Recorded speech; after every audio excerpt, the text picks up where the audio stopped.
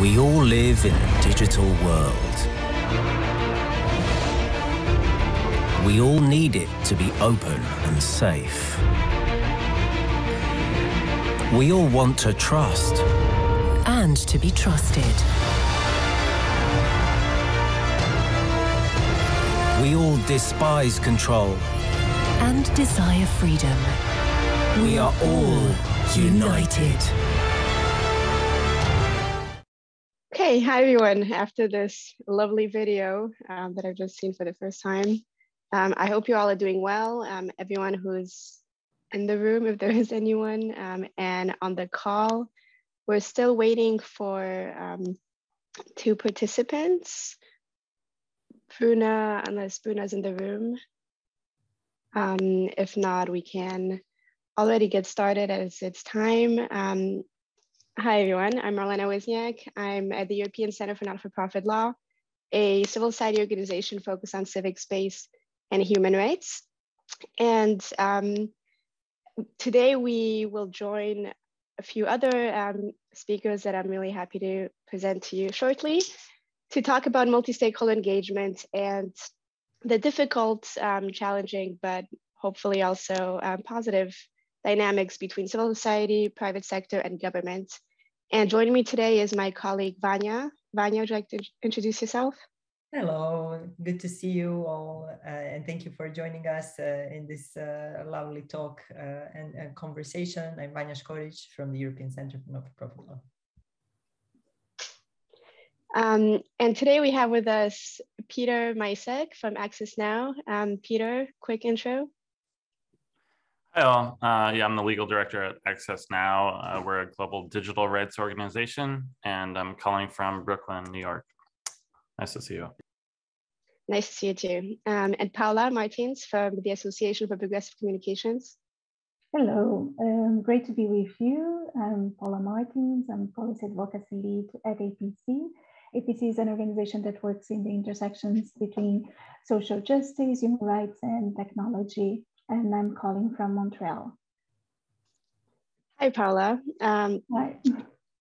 And hopefully others will be joining shortly. It's always a little bit hectic um, coordinating online and offline, but we will have Bruna Martins, who is the um, um, the um, visiting researcher, sorry, for Berlin Social Science Center and um, a researcher at Coalizão Direitos na Rede. And um, Alex Walden from Google, who is the global head of human rights. Hopefully they'll be joining shortly. Unfortunately, Urvashi Aneja, executive director from Digital Futures Lab, had a medical emergency this morning, so will not be with us. But um, with that said, um, let's dive right in. And Vanya, if you could give a quick intro to what our goals today are um, and how you see the session broadly.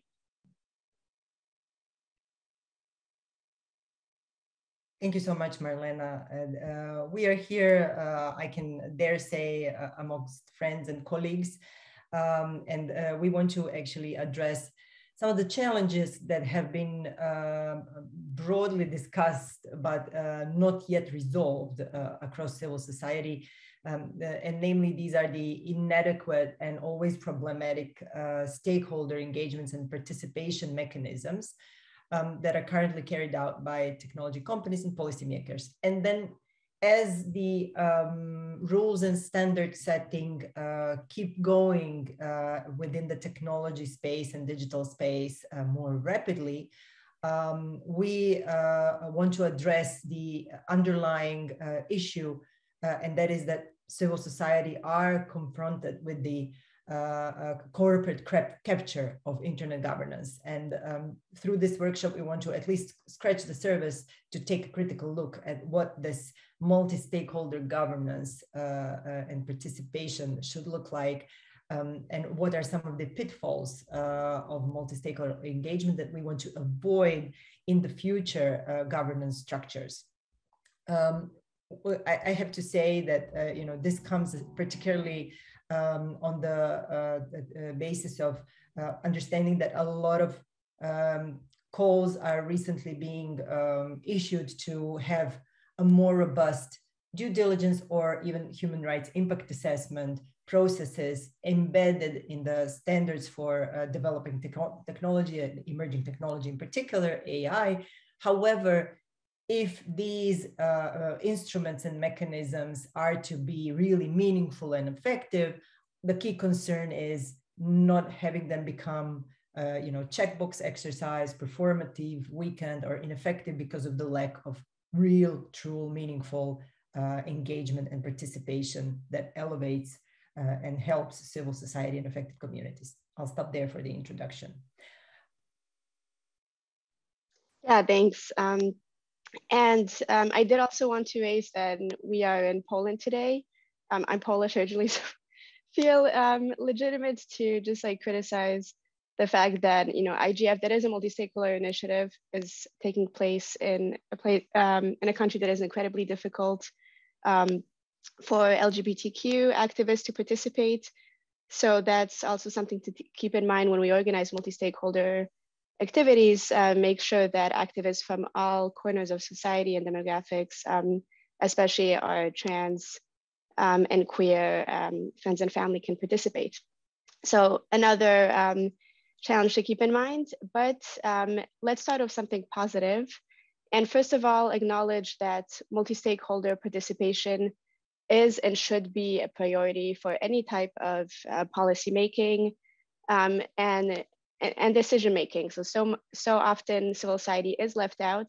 So before jumping into the um, challenges, um, yeah, I do want to acknowledge that we should always strive for more uh, multi-stakeholder participation and as much as possible include um, civil society orgs, activists, um, human rights defenders from all over the world. Um, we all know that there is um, inadequate representation globally. Um, so I'm happy that today we have folks from around the world and, and unfortunately Urvashi can join us from India. And let's go straight to Bruna, who I think has joined now. Bruna, could you introduce yourself um, quickly? And then um, if you could talk to us a little bit about how you have generally found multi-stakeholder engagement to be effective for advancing your advocacy goals um, during your experience in civil society and also as a researcher. Um, and then, yeah, any challenges or hurdles that you've been confronted with when collaborating with actors from different sectors. Thank you. Thank you, Marlena. And, and hi, everyone. Um, I'm in the room. The camera is just focusing on the other side. So, but but I'm here and also on the online um, room with you guys. So, hi. um, very strange um, kind of dynamic. But um, anyway, yes. Um, you look great. When, yeah, thank you. but when we were talking about um, how multi-stakeholder like was helpful to us, um, I, I cannot um, divert from the, the Brazilian experience with the approval of our data protection bill and how Coalizão Direitos na Rede in the past year has been trying to push for more multi-stakeholder dynamics, discussions, roundtable, parliamentarian roundtables um, in, as part of our um, advocacy work at the Congress. So um, maybe one very good example I can bring is about the, the Brazilian data protection bill.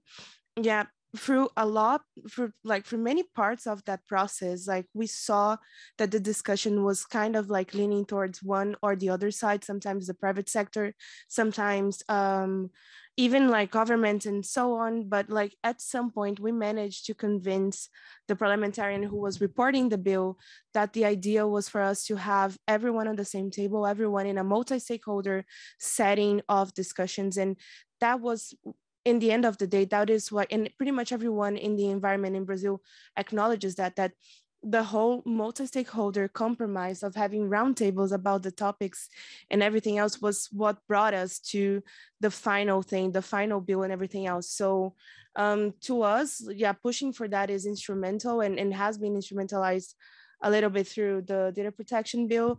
And now that we are also like going through the the fake news discussion and also in ai act um, what we're doing is called pretty much for the same. Like let's just have everyone on the table and let's just have everyone putting their cards out loud and just so we all understand what are this the, the, what's at stake and what's everyone aiming for um, in every single bill. So maybe i can start with that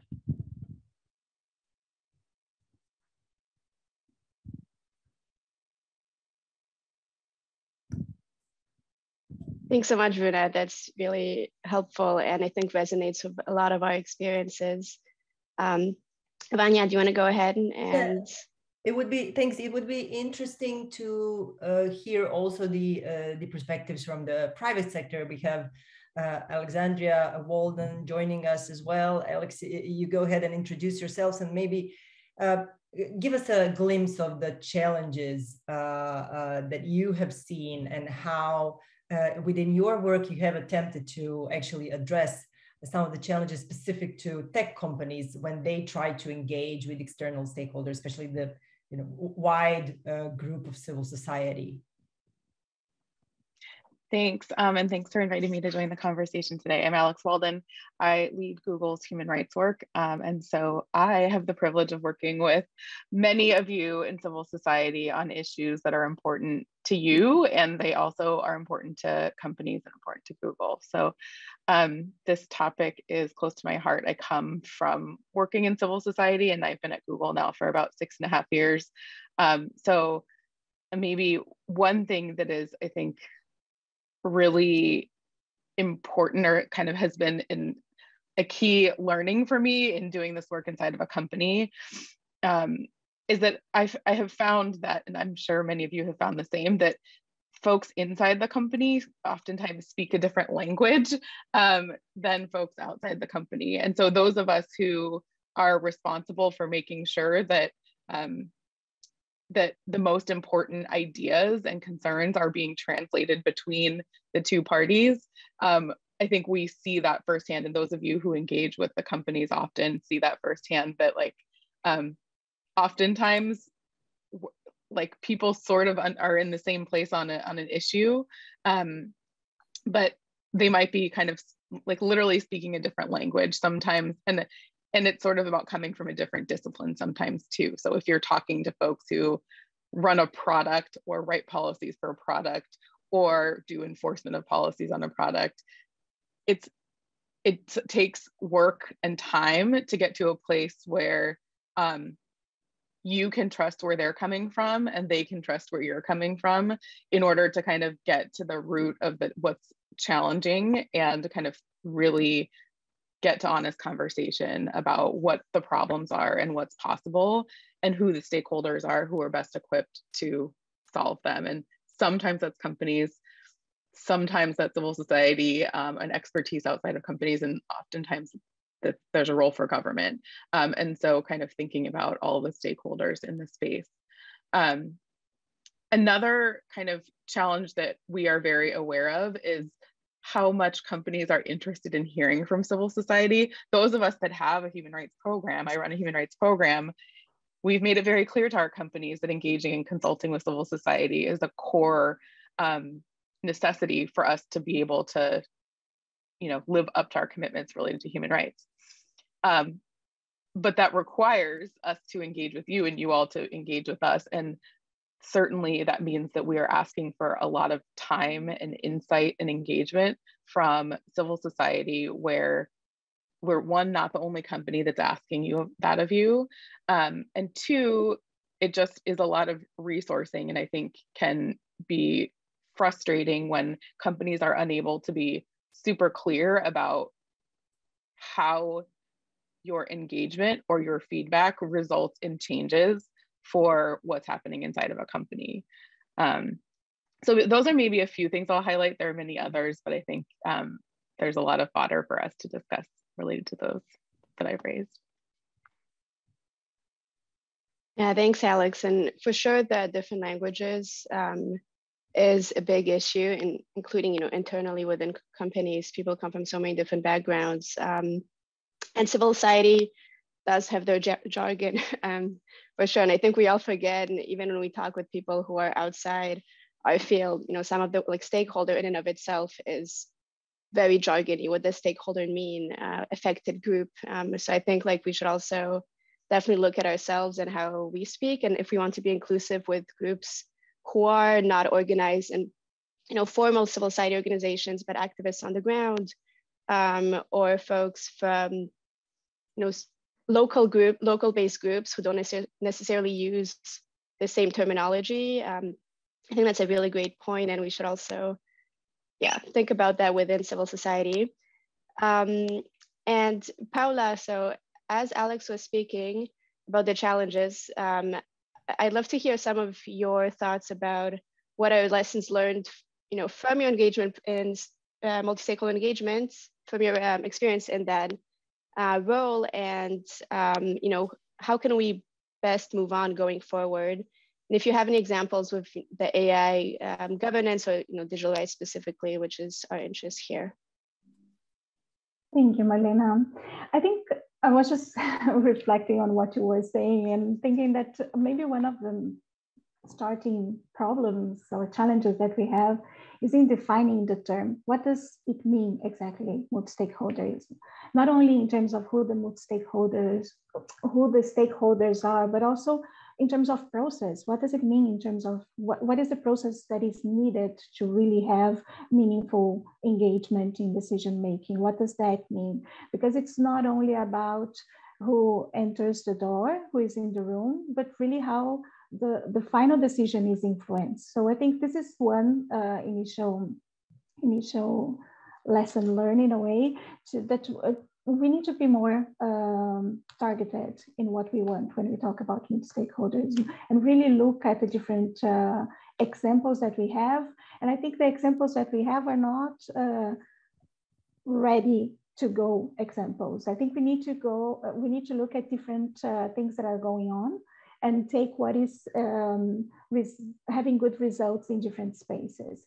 And then uh, my the, the, examples that I was going to mention are not even from AI or even the digital field, because I was thinking that one thing we should be doing is to look at the environmental field and take a look at how they are framing this discussion, uh, look at the food system discussion. So look at uh, global governance more broadly and see how multi-stakeholderism has been advancing and what are the proposals there. And I think we need that uh, to move forward. So that, that would be um, a first uh, a first essential point in in my view.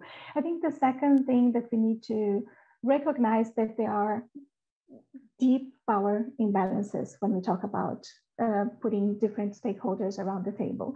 And we need to be clear and honest about that if we want to address how to manage that. So we do believe in multi-stakeholderism. So what are the, again, maybe it's about processes. So what are the processes that we need to bring to ensure that uh, people will have equal participation and we create more balance? And when we talk about um, power imbalances, I was thinking that it's not only between the different stakeholder groups, but also within the same um, um, stakeholder group, because of course you have an issue of representation, and I think that as well is something that we we have learned that it's it's it, it, it from our side, also from civil society, if we are um, honest about it, we need to have um, a critical assessment about how um, what are the groups that we are not uh, successfully um, representing and making sure that their voices are being heard. Um, and maybe some of these models that I was mentioning um, could be more interesting in, in, in, looking at that, because I think um, maybe one way of bringing this um, to the equation is disaggregating a bit further the stakeholder groups. So if you look at the SDGs, for example, they talk about the major groups. So they include women, children, indigenous peoples, workers, and trade unions. So maybe if we look, if we bring something like that, uh, a more disaggregated approach, um, this could be um, um, an added value. And I have so many like points that I wanted to share. Let me finish with just uh, one more um, that it's um, it's about cooperation. I think um, we again it's related to power imbalances as well because uh, when we get into the negotiation tables, civil society in general doesn't have the same resources. So one lesson that we learned quite um, strongly is that to be heard, it's always good to work together and, uh, and identify clearly how different um, organizations, how different actors can contribute. Um, so that we have a more coordinated, stronger um, argumentation, participation, advocacy. Um, and uh, and and our stakeholder group talking from like civil society can have uh, more impact in these negotiations because we know that um, both governments, some governments not all because as i said you also have imbalances there but uh, many governments and uh, the private sector they come with a lot of baggage. So they have the resources not only in terms of like uh, people, the kind of uh, time they can dedicate to different spaces, the kind of research, the kind of data that they can bring. So I think collaboration within um, civil society is key to um, start to, to, to, to, balance these and, and ensure that uh, our contribution is um, more effective, more impactful. Thank you, uh, Paula. Absolutely key points, and we'll come back to some of them definitely in the discussion later. But maybe to make it more concrete, uh, a, a, question for Peter: How does this reflect and fit in uh, this whole story and challenges of multi-stakeholder engagement? How do they fit in uh, broader uh, civil society inclusion, and especially in, in, in systems related to AI and internet governance, in your experience so far? Thanks. Yeah, um, yeah, it's really uh, good stuff so far, and I think you know when we have this many civil society in a room, we'll tend to you know look look more inward. I think that's okay. Um, I'm not sure I can get more concrete. I was actually gonna uh, blow it up a bit, and you know. Um, I wanted to uh, bring in you know some thoughts from colleagues um, that we've that I've had recently. Some talks where you know I was talking about what what went well this year and what we've done well in 2021, and I was saying some civil society organizing, and my colleague said, "Well, sure, yeah." You know, we're on the, we're all on this boat together, crossing the sea. We see, you know, there's a lot of holes in this boat. The water's coming in, and we've organized well to, you know, to fill those holes and to get the water out of the boat, right? To, to bail out the water. But, you know, why are we in this shoddy boat? Why are there holes in the boat? And, you know, what are we doing trying to brave these rough seas any, in the first place, right? And it's, um, it's uh, taking that opportunity to like step back and, uh, you know, say, I think, what if civil society didn't exist? And that's, that's I, that actually is a very concrete question in a lot of countries, right? There is no civil society. Another colleague this week was talking about, you know, how we're going to campaign um, in certain countries, and they said, well, you know, we're going to work with civil society. Well, actually, we're going to work with people on social media because that's what it is. That's that's the only free space left um, is on social media, and so there, you know, and that you know, for all sorts of reasons, that's that's not a great situation to have you know the, the only free voices be um, those accessing uh, private platforms you know owned and uh, operated elsewhere. So um, yeah I, that that's one thing i wanted to get at is that even if we solve this right we solve the participation problem for civil society in internet governance or in ai you know civil society doesn't exist in a lot of places. And i don't think we're going to get that at the higher goal which i think we can all agree is that everyone affected by a decision or a policy or a service has is consulted in making that decision. I think that's ultimately what we're trying to get at.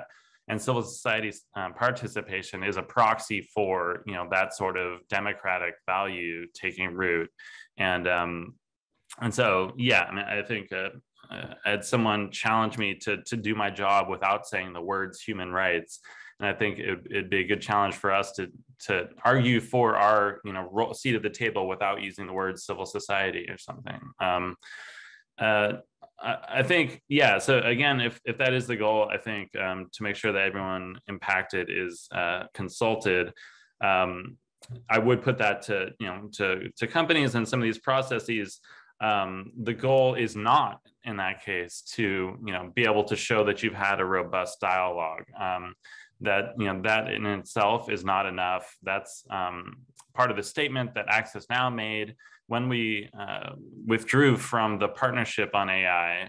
Um, we said, um, I do recommend, uh, I'd love to share this statement. I, I didn't write it, I, but it's really clearly put and succinct says we support dialogue between stakeholders, but we did not find that partnership on AI influenced or changed the attitude of member companies or encourage them to respond to or consult with civil society on a systematic basis. Um, so it felt ad hoc. It felt like civil society was not setting the agenda. We were being asked to, you know, uh, feedback into what was being presented. Um, and so for us, you know, the goal of, of dialogue itself was not enough to keep us in that forum.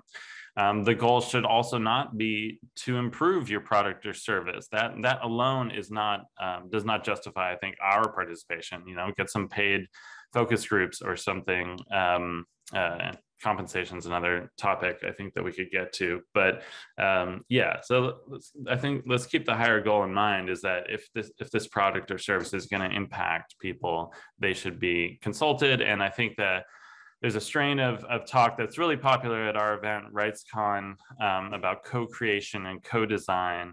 And I think that gets to that, um, you know, human rights by design, uh, bringing folks in at the earliest possible stage.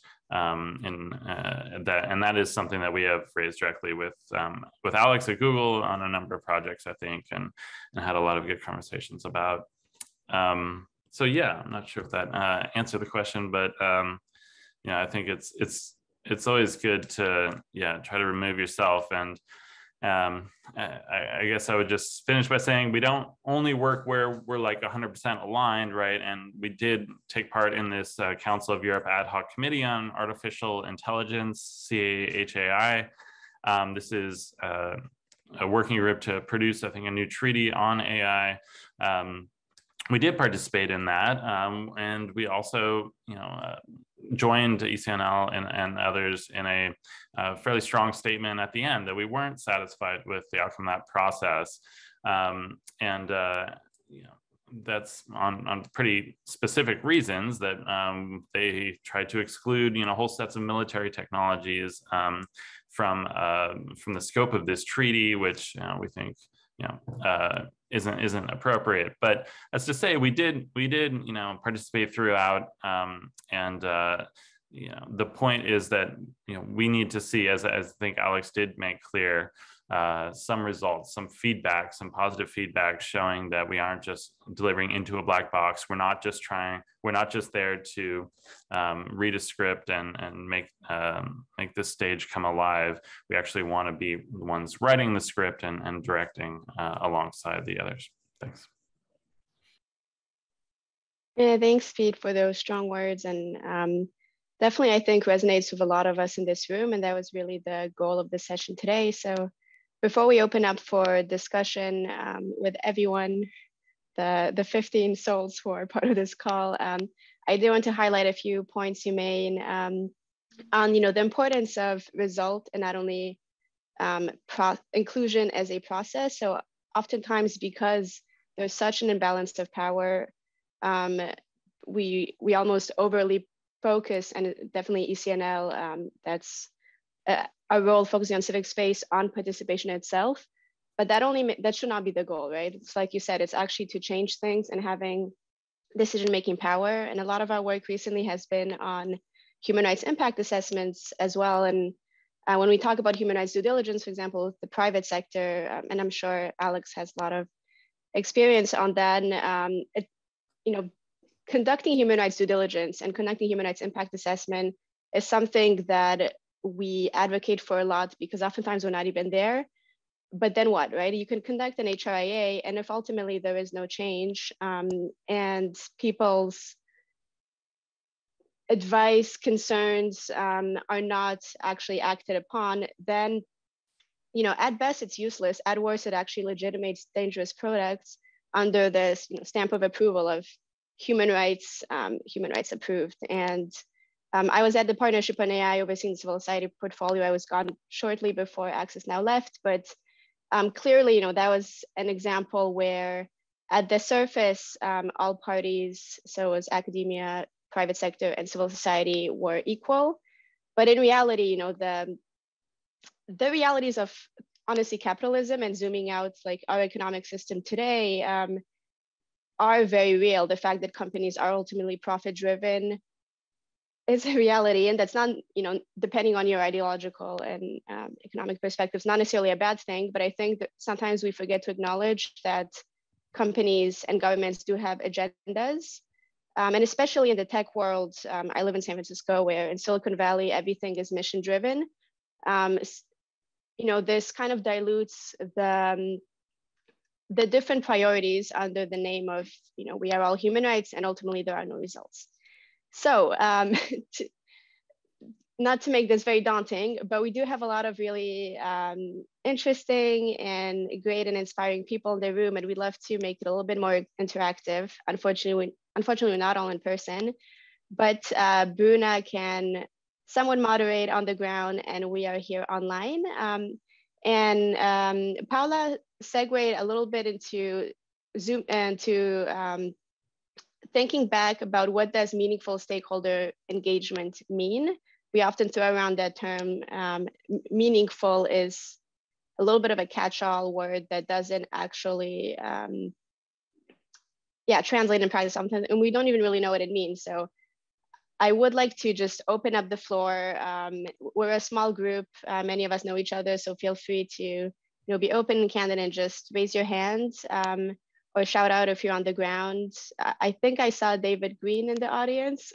so um, definitely putting you on the spot there if that is you. Um, and yeah, just share some thoughts about uh, what meaningful stakeholder engagement or participation means to you.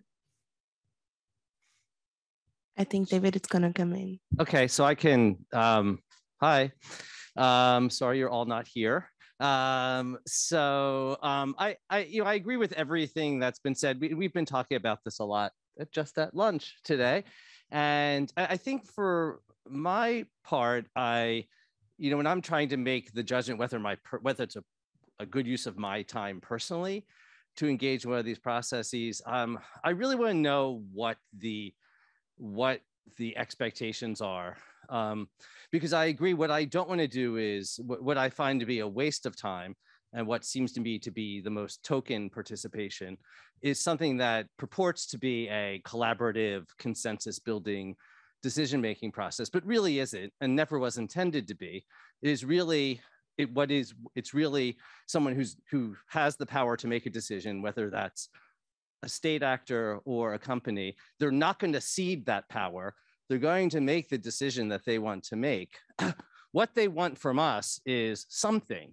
But the, if it's not clear what it is, if, it, if it's some type of iterative consultation process, if it's expertise, that's fine. But so often, all they want from us is just opportunity to say, we've consulted with them.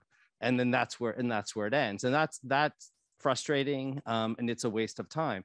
At the same time, I find it actually be worthwhile to be involved in ones where going in, I know that it's just a consultative process and that our expertise is valued. It's going to be listened to. It might not change their decision, but we also preserve the ability at the end of the process to say we disagree with the decision this was our input our input wasn't considered or was or was discounted and so i'm okay with doing that as long as it's clear to all the participants ahead of time that that was the expectation that we're not i i, I really try and run from the you know ones that purport to be consensus building where it's very clear that that um, consensus isn't really a value or even really appropriate um, in that term. The other point I want to make, which I think was alluded to earlier, is that um, when we as civil society can't represent everybody, we can't, you know, uh, when EFF gets invited to an event, we we try and you know stand in the shoes of internet users, but many times a, a far more specialized expertise is needed. And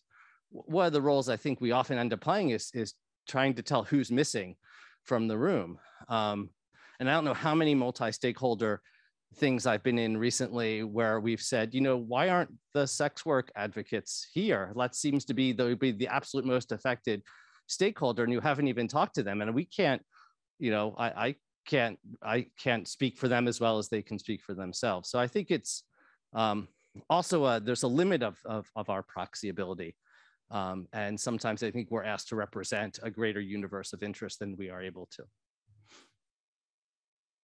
I think we have two more hands here, Marlena, um, both from Colin and Courtney. Sorry, it might be that uh, we're kind of hive minded because we just had, uh, I talked about this a little bit at lunch. I'm Colin Curry. I'm formerly civil society, but now a, uh, an independent regulator at Ofcom in the UK. Um, and I actually, something that Peter said actually resonated with me as well about trying to speak about civil society without saying civil society because I think oftentimes in internet governance spaces, we think about civil society in a certain way. But something that's really struck me about uh, moving into a more policy function, a policy making function, is the incredible diversity of civil society within even just within the UK. So everything from you know the Epilepsy Society to the Church of England to the kind of child rights or human rights or privacy, and it's just this spectacular range of expertise and interest groups. Um, so I think that obviously coming from a, a, kind of human rights background, it's easy for me to contextualize that within a kind of human rights lens or framework. But I would ask you guys, how, how do you think about this? And uh, David's point about uh, about proxies was a was an interesting one. Um, what what does meaningful engagement within civil society look like? And how do we kind of um, surface the diversity of these interests and potentially begin not necessarily reconciling that, them but um, coexisting in within this diverse landscape that i think is so often flattened down to just being one or two interests as opposed to you know 360 degrees of perspectives? Thanks. And we have courtney now um, thanks. I think this is a really critical conversation, and I wasn't part of that lunch discussion. Um, but nonetheless, um, related to this, uh, you kind of alluded to this, Peter, but the issue of compensation. We are asked to consult for the richest companies in the world, many trillion dollar companies, including Google and Facebook, on a regular basis. They occasionally um, pay for those services, but there is a challenge about taking money and then being perceived as um, somehow then bound to those interests. A lot of NGOs are trying to figure out should they take that money or not, but why should we subsidize um, these companies to do these consultations with civil society when you know civil society spaces are closing and struggling for economic viability also i'd like to ask peter about rightscon because as there is the you know civil society whitewashing of these initiatives can we legitimately invite companies like Facebook to enter our spaces of civil society that are devoted to human rights when it's so obvious that year after year after year, they are violating our human rights on a regular and systematic basis, hiding the research, and aren't they using our venues as a way of whitewashing their own human rights abuses? At what point do we deny them access to those spaces? Thank you. Back to you, Marlena. Actually, uh, I'll hand the mic to Vanja for a few minutes.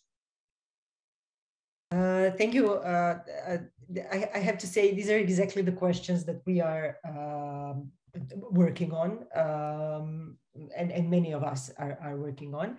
Um, for example, um, we have started, I'll, I'll, give you just a glimpse of how, the, how similar are uh, the issues.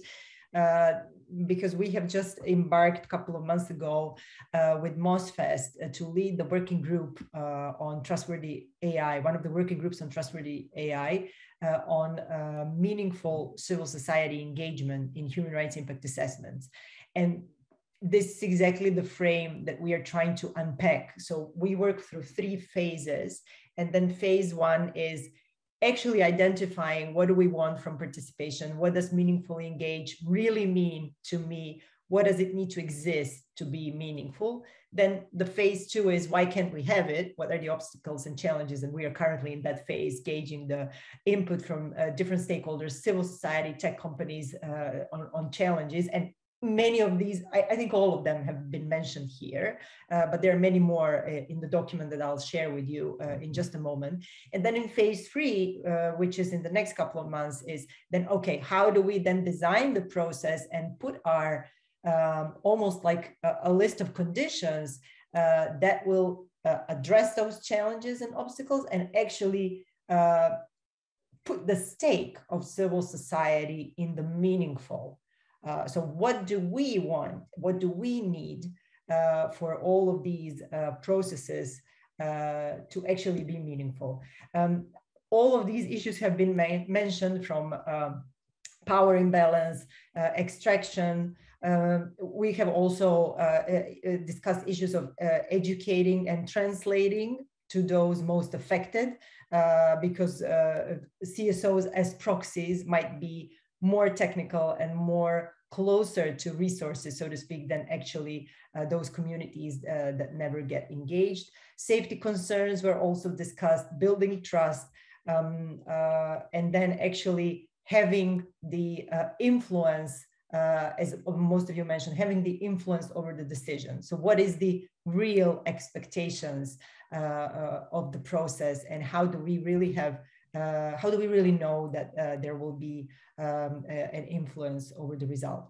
Um, we are in this process um, missing a lot of voices from the tech community, I would say. So maybe I can uh, uh, turn the floor back to Alex and ask how do they deal with some of these questions? And are there any good ways to share uh, how to address some of these concerns? And I'll share the link to the document that we are currently working on where we are collecting different challenges and you can see in different tables, uh, different sub questions what we are looking at, but most of it is mentioned here. You'll be able to recognize. Um, these are, I feel like all of the, I have something to say um, about all of the issues that have been raised in the past 10 minutes. Um, but maybe where I'll start is that um, I think companies in general, and obviously inside the company is not a monolith. And so there are lots of interests um, that civil society, stakeholder groups, and even people who work at companies are trying to speak to within a company.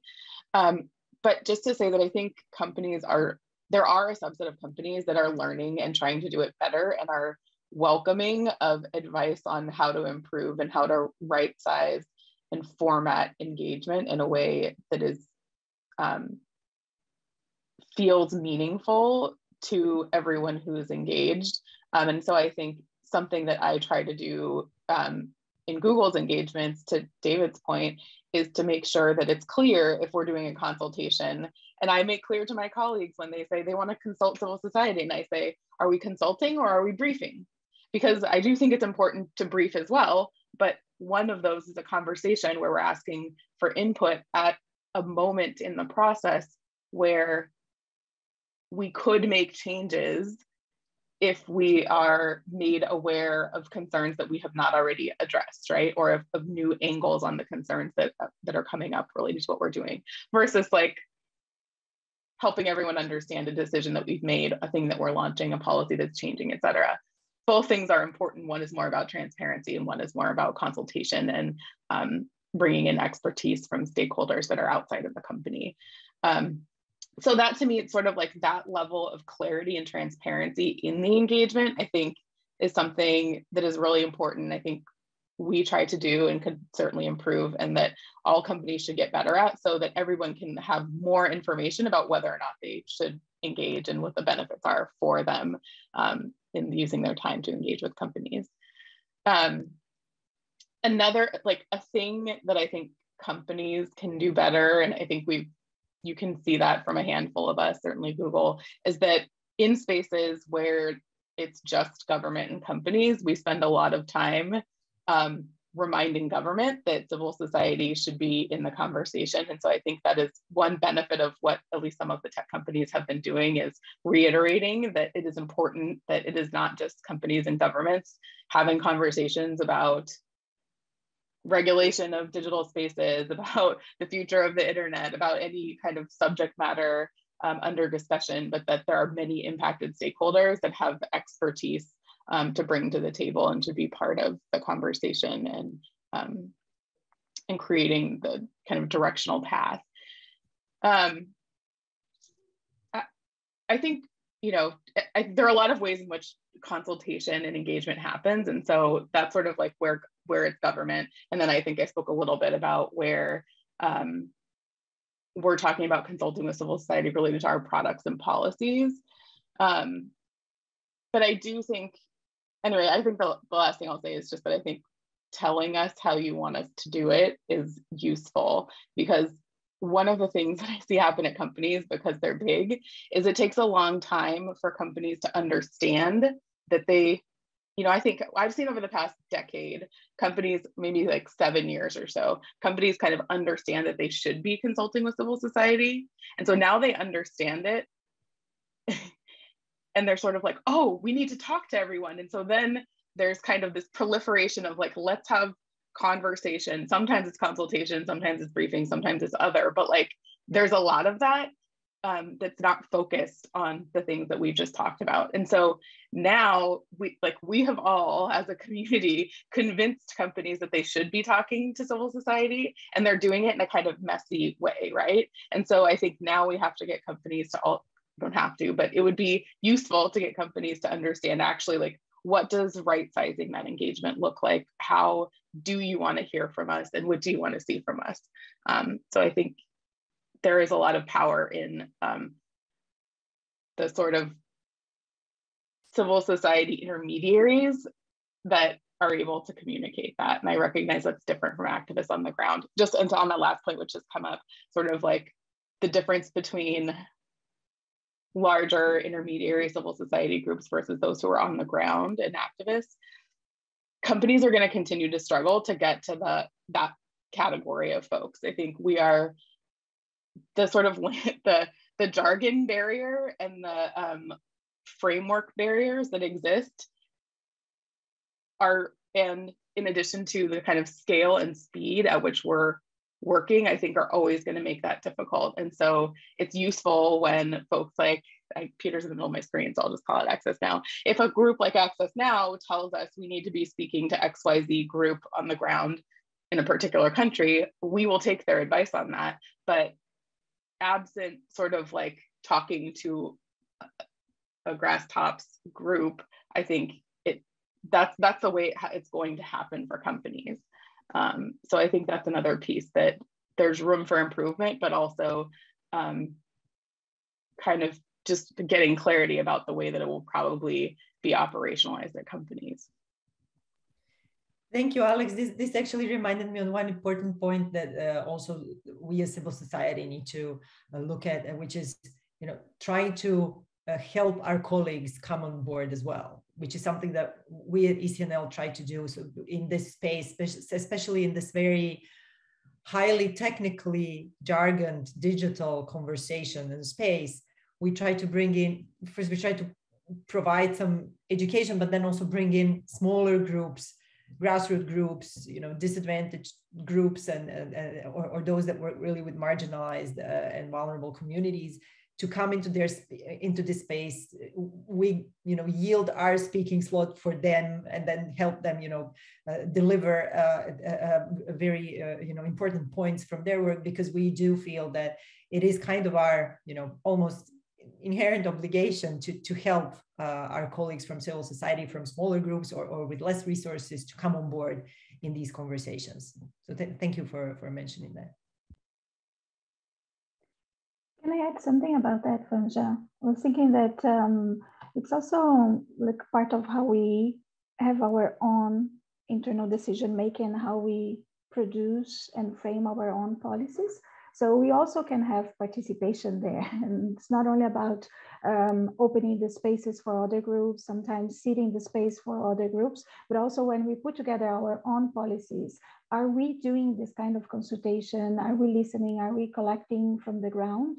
Um, APC is a network and we are always like our members are always calling attention to the fact that okay like before you say that publicly let's have a meeting let me bring what's going on here in uganda here in in um, in Chile, and and then let's let's put something together. So I think it's also about not, not letting this happen at the end, but really uh, at the beginning when we are forming our positions in relation to to different uh, matters. Can I also add something? Yeah, no, just about this whole collaboration as well that Paula were speaking before, and some of us as well. Um, sometimes, as as you guys were saying, like as Alex was saying, sometimes the other way around also happens. Like sometimes it's the case that civil society needs to also bring um, private sector to the table because, like, as we are seeing like some regulatory movements and some like more incisive position of like Congress's legislators and elsewhere, like over um, you guys and your product and everything else, we're also seeing some sort of a shutdown of like conversation from the policy space to you and, which is at least what we saw last year in brazil in the whole um, disinformation um, bill. Like sometimes we would have like civil society would would have to remind legislators that well maybe talking to whatsapp might be interesting to understand what encryption is because it's it's like it's no use just like willing to regulate them without like talking to anyone. So one hand washes the other and the as brazilians would say in the end of the day and like this cooperation can also work in both ways so yeah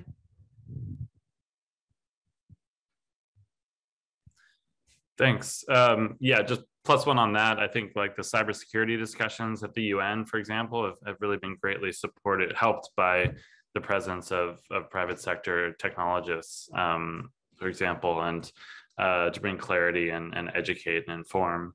Um, yeah, and I, I, agree. Generally, we're we're past the awareness stage. Uh, you know, on in a number of ways in this um, tech and human rights discussion, um, and and we are getting to the how, which is a good place to be. Uh, just want to acknowledge that, um, and, and that shows up the UN across um, the UN as well that you know nobody's ignoring digital um, and, and, tech anymore. It's more a question of how. I did want to answer, uh, yeah, or uh, respond to Courtney's great questions. Um, yeah, on, on, funding and compensation, you know, different uh, different organizations are going to have different policies, um, you know, and uh, and individuals, you know, as well. Um, you know, and it's a it's it's never it's not clear cut for anyone. I think um, when it comes to RightsCon, RightsCon can't exist without um, a whole lot of funding, and you know it needs to come from somewhere. And we tried to diversify the pool of funders as much as possible.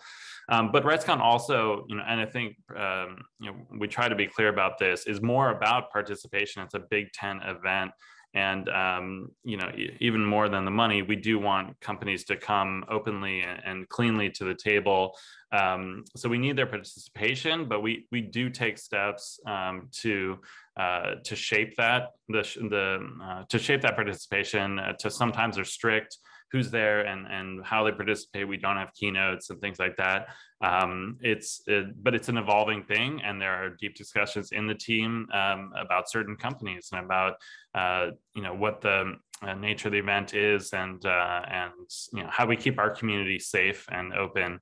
Um, and and uh, yeah, really welcome input on that um, always. Uh, and then yeah, just to go back to the language thing, I think you know, uh, I totally agree uh, that we don't always speak the same language. I think if you look at uh, Facebook, you know, they changed who they are. I guess um, you know, there's this whole new company now that we're all trying to learn how to how to speak to. So it's um, yeah, uh, you know, it's constant. There's going to be new products, new technologies, and services.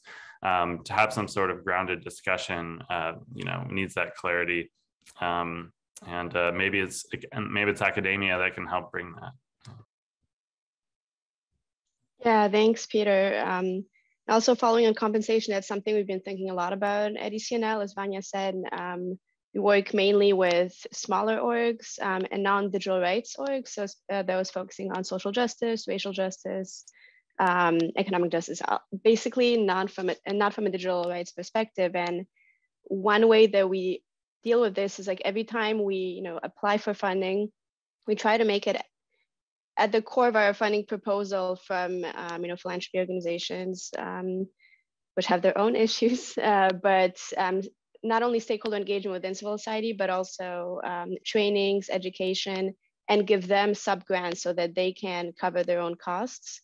Um, you know, unsurprising, these are very low amounts. We can barely cover our own staff's um, salaries. So it's, we're talking about very small amounts of money. And, and compensation is you know always kind of a hard topic because we don't take money from companies for obvious independence reasons. But like we've spoken here um, you know maybe we should and definitely if if not if not ecnl because we are an international ngo that has sufficient funding and, and relationships with funders the smaller ones on the ground is a different story. Um, and then also on the training side of it um, you know, it's not with one con one session or one call that you will be able to train someone who has spent their entire life working on um, environmental justice, for example, and how you know AI, emerging tech, or even things like you know surveillance technology that isn't new, like Pegasus or other types of spyware malware um,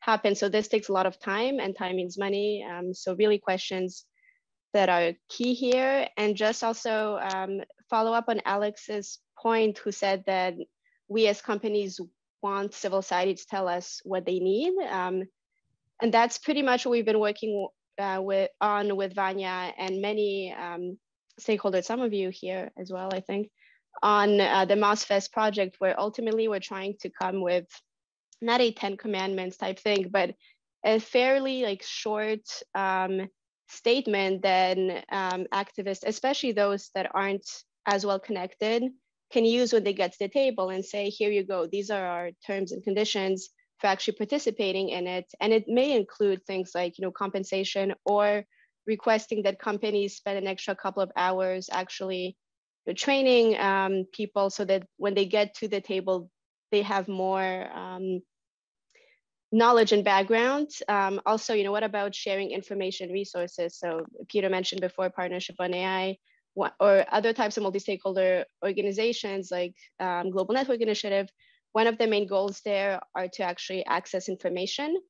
Um, but that's obviously limited as well, given confidentiality, trade secrets, patents, um, and how do we also make sure that IP, for example, is not used as an excuse to not share information. Um, and also recognizing that companies are, have competition, so they don't share information among each other as well, right? So when we think about multi-stakeholder engagement if we have you know civil society is not a monolith private sector is not a monolith either um, how do groups engage with it's different working with you know google or facebook than with let's say slack um, although slack now has been bought by microsoft so maybe it's the same thing but anyways um, all these dynamics also color the way the engagement works um, and i see that laura has her hand up um, go ahead and hi it's nice to see you Hi, Marlena. Nice to see you, and nice to see you, Vanja, again today. Hi again.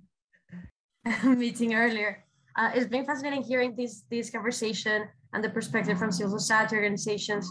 Um, I personally work at the OECD, where we developed together with my team the OECD Policy Observatory, and it is really a platform for not only policymakers but really for everyone to share resources. And now that you brought that uh, about how to to interact and share resources and make them more available and bring visibility to, to different actors.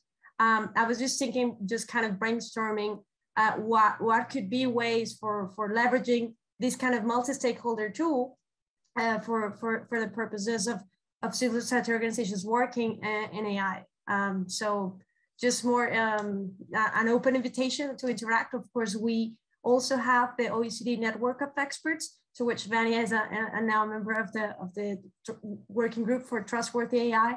And the idea there is to, to do all the thinking about tools for trustworthy AI, classification systems for AI systems, and that hopefully help inform risk management and risk assessment um, of AI systems. So, so it's really a lot of thinking that is going on, a lot of data available and policy available, but how can we bring much more participation and, and, and ideally for others to leverage this tool globally. Thanks a lot.